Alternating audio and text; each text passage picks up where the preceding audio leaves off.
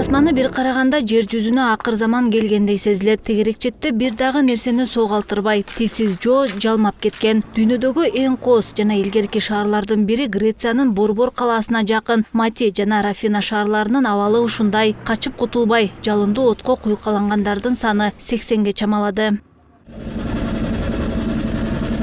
табигый кырсык күндүн аптап ысыгынан келип чыккан. Акыркы күндөрү афинада аба ырайы кырк градуска чейин көтөрүлүп токойлуу шаарды өрт көз ачып жумганча эле каптаган. Тутанган өрттү өз убагында өчүрүүгө катуу шамал тоскоолдук жаратып анын ылдамдыгы саатына жүз чакырымга чейин жеткен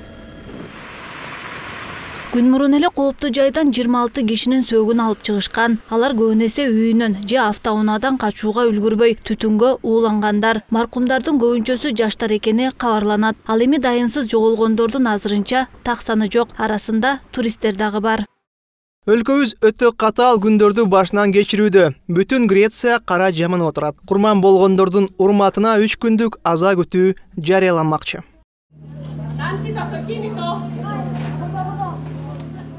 ал эми жүздөгөн тургундар үйлөрүнөн айрылганы аз келгенсип түрдүү оор жаракаттарды алышкан куткаруучулар келгиче күйүп кетпейин деген жарандар айласыздан сууга кирип атайын кызматтарды күтүүгө аргасыз.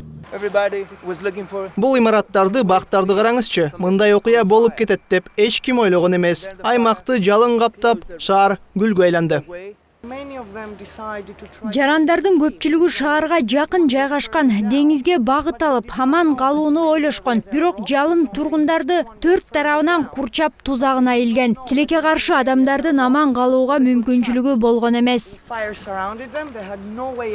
табигый кырсык менен алышканга алы жетпей жаткан грециянын бийлиги евро биримдиктен жардам сурады грециядагы дал ушундай табигый кырсык эки миң жетинчи жылы дагы катталып бери дегенде эле алтымыш адамдын өмүрүн алган наргиза асекова владимир умаркулов апрель телеканалы